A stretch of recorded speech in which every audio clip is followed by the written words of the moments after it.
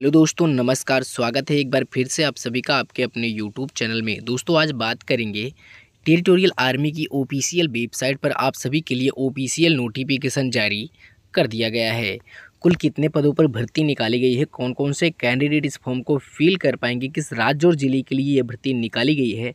कहाँ से आपको फॉर्म फिल करना होगा? सारी जानकारी आप सभी को इस वीडियो में दी जाएगी। दोस्तों, बस वीडियो को आप टोटल कंप्लीट देखते रहिएगा, तभी सभी क्वेश्चन के डाउट आपके क्लियर हो पाएँगे। फॉर्म को कैसे फिल करना होगा, किस राज्य और ज़िले के कैंडिडेट फॉर्म को फिल कर पाएँगे, सारी जानकारी आपको दी जाएगी।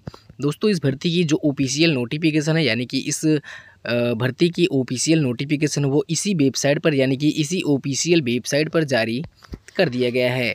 फॉर्म को फिल कैसे करेंगे? कहाँ, यानी कि किस राज्य और ज़िले के कैंडिडेट इस फॉर्म को फिल कर पाएँगे? कहाँ के कैंडिडेट फिल कर पाएँगे? सारी जानकारी आप सभी को दी जाएगी दोस्तों। बस वीडियो को टोटल कंप्लीट देखते रहिएगा, तभी सभी क्वेश्चन के डाउट आपके क्लियर हो पाएँगे। दोस्तों, आप सभी से एक ज़रूरी बात बता दें कि आप जो भी नए कैंडिडेट हैं, चैनल को सब्सक्राइब ज़रूर कर लीजिए। वीडियो को लाइक करके चैनल को सब्सक्राइब अगर करे रहेंगे तो हमको और भी साहस मिलती है। तो दोस्तों, बिना टाइम को भाई चलिए शुरू करते हैं। आप सभी को जो इस भर्ती की ऑफिशियल नोटिफिकेशन जारी किया गया है, उस पर लेके चलते हैं आपको। तो यहाँ पे दोस्तों सबसे पहले आप सभी को आइए बता दिया जाए, शॉर्ट में सबसे पहले आप सभी को जानकारी दी जाएगी। तो आप देख पा रहे होंगे ऑर्गेनाइजेशन नेम यहाँ पे टी आर्मी वैकेंसी है। एग्ज़ाम नेम आप देख पा रहे होंगे जो कि टीए भर्ती निर्धारित की गई है। और यहाँ पे एप्लीकेशन मोड आप देख पा रहे होंगे, यानी कि ऑनलाइन माध्यम से इस फॉर्म को आपको आवेदन करना होगा। और यहाँ पे जॉब कैटेगरी के बारे में बात करेंगे तो आपको बता दिया जाए डिफेंस जॉब है। और दोस्तों, आप सभी को बता दिया जाए कि जिन कैंडिडेट को ये नहीं पता कि हम किस जोन से बिलोंग करते हैं, हम किस राज्य और ज़िले से और किस जोन से बिलोंग करते हैं तो आप सभी को सारी जानकारी इस वीडियो में दी जाएगी। तो यहाँ पे जॉब लोकेशन के बारे में बात कर ली जाए तो आपको बता दिया जाए ऑल ओवर इन इंडिया यानी कि इंडिया के सारे कैंडिडेट इंडिया के किसी भी कोने से बिलोंग करते हैं, यानी कि किसी राज्य और ज़िले से बिलोंग करते हैं तो आप इस फॉर्म को आवेदन कर पाएँगे। एग्ज़ामिनेशन सेंटर के बारे में बात करेंगे, यानी कि एग्ज़ामिनेशन सेंटर के बारे में आपको बता दिया जाए तो आप देख पा रहे होंगे ऑल इंडिया, यानी कि आप जहाँ भी फॉर्म को अप्लाई करते समय, जहाँ भी आप अपना सेंटर चूज़ करना चाहते हैं, वहाँ पे आप चूज़ कर पाएँगे, ऑल इंडिया के किसी भी कोने में आपकी एग्ज़ाम हो जाएगी। और यहाँ पे आइए दोस्तों, बात कर लीजिए, इस फॉर्म को अप्लाई करने के लिए एप्लीकेशन, यानी कि अप्लाई मोड क्या होगा तो डायरेक्ट भर्ती आपकी की जाएगी। हु कैन अप्लाई यहाँ पे आइए बात कर लीजिए हु कैन अप्लाई के बारे में। तो आप देख पा रहे होंगे ऑल ओवर इंडिया यानी कि इंडिया के सारे कैंडिडेट किसी भी स्टेट से बिलोंग करते हैं तो आप किसी भी स्टेट से बिलोंग करते हैं तो फॉर्म को आवेदन कर पाएँगे आप। यहाँ पे आप देख पा रहे होंगे दोस्तों, जो कि किसी भी यानी कि आल स्टेट यहाँ पे आप देख पा रहे होंगे 28 राज्य के कैंडिडेट इस फॉर्म को आवेदन कर पाएँगे। और यहाँ पे आइए बात कर ली जाए दोस्तों इस फॉर्म को कौन कौन से कैंडिडेट आवेदन कर पाएँगे? तो यहाँ पे आपको बता दिया जाए, जेंडर आप देख पा रहे होंगे जो कि मेल कैंडिडेट इस फॉर्म को आवेदन कर पाएँगे। टेरिटोरियल आर्मी भर्ती की आइए बात कर ली जाए किस कैटेगरी के यानी कि कौन कौन से पद किस किस कैटेगरी में निकाले गए हैं? तो यहाँ पे आपको बता दिया जाए। तो आप देख पा रहे होंगे जो कि पहला पद जो यहाँ पे निकाला गया है सोल्जर जनरल डिप्टी के पदों पर भर्ती निकाली गई है।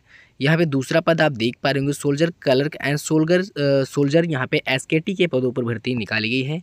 सोल्जर कलर्क यहाँ पे स्टाफ ड्यूटी, यानी कि सोल्जर क्लर्क स्टाफ ड्यूटी के पदों पर भर्ती निकाली गई है। सोल्जर ट्रेड्समैन के पदों पर भर्ती निकाली गई है। यहाँ पे आप देख पा रहे होंगे, जो कि सिंपल और सिंपल दसवीं के पास भी कैंडिडेट हैं तो सोल्जर के पद पर, यहाँ पे सोल्जर ट्रेड्समैन के पदों पर भर्ती के लिए अप्लाई आप कर पाएँगे। सिंपल और सिंपल आठवीं और दसवीं पास है, फिर भी इस फॉर्म को आप आवेदन भी कर पाएँगे और इस पद के लिए आवेदन कर पाएँगे। और यहाँ पे आइए बात कर लीजिए, यहाँ पे आप देख पा रहे होंगे जो कि ex service man soldier G D यहाँ पर भर्ती, यानी कि एक्स सर्विस मैन के पदों पर भी भर्ती निकाली गई है। एक्स सर्विस मैन हवलदार के पदों पर भी भर्ती निकाली गई है, दोस्तों आप देख पा रहे होंगे। और यहाँ पे J C O ex service man यहाँ पे आप देख पा रहे होंगे, डिस्ट्रिक्ट भर्ती यहाँ पे निकाली गई है, यानी कि डायरेक्ट भर्ती आपकी होने वाली है। और यहाँ पे आइए बात कर लीजिए दोस्तों, इस फॉर्म को आवेदन करने के लिए अगर आपको ये नहीं पता हम किस राज्य और ज़िले से बिलोंग करते हैं, यानी कि किस जोन से बिलोंग करते हैं तो आपको यहाँ पे बताएँगे, जो कि आप जोन फ़र्स्ट के बारे में सबसे पहले आपको बता दिया जाए तो आप देख पा रहे होंगे, जो कि यहाँ पे प्रयागराज और यहाँ पे आप देख पा रहे होंगे दोस्तों, हिमाचल प्रदेश और यहाँ पे जम्मू कश्मीर, पंजाब स्टेट के कैंडिडेट इस फॉर्म को आवेदन कर पाएँगे। दिल्ली, छत्तीसगढ़ और यहाँ पे इंडिया, यानी कि इंडिया के सारे कैंडिडेट यहाँ पे जोन फ़र्स्ट में जोन फ़र्स्ट के कैंडिडेट इतने हैं और जोन सेकंड में जो कैंडिडेट आते हैं, उनको आपको बता दिया जाए।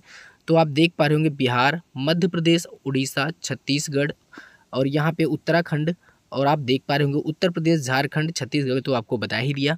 और यहाँ पे दोस्तों जोन थर्ड यानी कि थ्री के बारे में बताएँगे, यानी कि जो कैंडिडेट जोन थर्ड में जोन थर्ड जोन के आते हैं तो उनके, उनको बता दिया जाए। तो असम यहाँ पे आप देख पा रहे होंगे, मेघालय, मणिपुर, त्रिपुरा, नागालैंड और यहाँ पे सिक्किम, वेस्ट बंगाल, मिजोरम और यहाँ पे आंध्र प्रदेश एंड अंडमान निकोबार भी यहाँ पे निर्धारित किए गए हैं।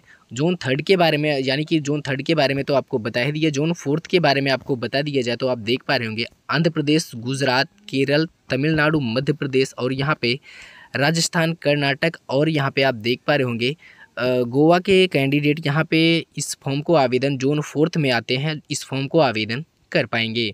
और यहाँ पे टेरिटोरियल आर्मी भर्ती की आइए बात कर ली जाए, सिलेक्शन प्रोसेस के बारे में, यानी कि चयन प्रक्रिया के बारे में बात करेंगे तो आपको बता दिया जाए। आप देख पा रहे होंगे, आपका यहाँ पे पीएफटी टेस्ट होगा, यानी कि फ़िज़िकल फिटनेस टेस्ट भी आपका, यहाँ पे आपका होगा दोस्तों। और यहाँ पे आप देख पा रहे होंगे, जो कि पीएचटी भी टेस्ट होगा, यानी कि आप देख पा रहे होंगे फ़िज़िकल यहाँ पे मेरिट लिस्ट भी आप सभी को जारी, यानी कि यहाँ पे आपको मेरिट लिस्ट भी आपको दिखानी होगी। और यहाँ पे आपको बता दिया जाए मेडिकल भी आपका होगा, यानी कि दोस्तों आपको कहने का मतलब ये है कि आपका मेडिकल टेस्ट भी होगा रिटर्न एग्जामिनेशन यानी कि लिखित परीक्षा भी आपकी होगी दोस्तों। किसी भी डिस्ट्रिक्ट से, यानी कि किसी भी डिस्ट्रिक्ट से बिलोंग करते हैं तो आप फॉर्म को आवेदन कर पाएँगे। लास्ट में आप सभी को फाइनल मेरिट भी बना के दी जाएगी। और दोस्तों, यहाँ पे आइए बात कर लीजिए इस फॉर्म को आवेदन करने के लिए आपकी एज कितनी निर्धारित की गई है, यानी कि उम्र कितनी निर्धारित की गई है तो आपको बता दिया जाए। तो आप देख पा रहे होंगे जो कि टेरिटोरियल आर्मी की आल पोस्टों के लिए, यानी कि सभी पोस्टों के लिए यहाँ पे 16 वर्ष से 27 वर्ष के बीच के कैंडिडेट आवेदन कर पाएँगे। और यहाँ पे आपको बता दी जाए, एज में छूट भी दी जाएगी, जो कि एस सी कैंडिडेट को पाँच वर्ष का छूट और ओबीसी कैंडिडेट को बिल्कुल तीन वर्ष का छूट दिया जाएगा। टोटल आपको बता दिया जाए तो सोलह वर्ष से पैंतीस वर्ष के बीच के कैंडिडेट इस फॉर्म को आवेदन कर पाएँगे। और यहाँ पे आइए बात कर लीजिए फ़िज़िकल टेस्ट के बारे में। तो सबसे पहले फ़िज़िकल टेस्ट में हाइट के बारे में आपको बताएँगे। तो 160 सेंटीमीटर की हाइट होनी चाहिए, वो भी मेल कैंडिडेट के लिए। 1600 मीटर की रनिंग बिल्कुल पाँच मिनट तैंतीस सेकंड में कंप्लीट करनी होगी। और यहाँ पे आपको बता दिया जाए, जो आपको जंप लगानी होगी, वो फाइव फीट इंच आपको कूदना होगा दोस्तों। और यहाँ पे आपको बता दिया जाए, आप चेस्ट के बारे में आपको बता दिया जाए तो सेवेंटी टू सेवेंटी सेवन से लेकर एटी टू के बीच में आपका चेस्ट होना चाहिए। यानी कि सेवेंटी सेवन मीट इंच से एटी टू के इंच, यानी कि एटी टू इंच के आपका चेस्ट होना चाहिए। वेट यहाँ पे पचास किलो का, यानी कि आपका वज़न पचास किलो का होना चाहिए। और यहाँ पे आइए बात कर लीजिए आपको सैलरी के बारे में, यानी कि पे स्केल के बारे में, आपको सैलरी के बारे में बताएँगे। तो आप देख पा रहे होंगे जो कि छप्पन हज़ार रुपये से यहाँ पे आप देख पा रहे होंगे जो कि छः हज़ार दो सौ रुपये से छप्पन हज़ार रुपये प्रति मंथ इस भर्ती में सैलरी भी आप सभी को दी जाएगी।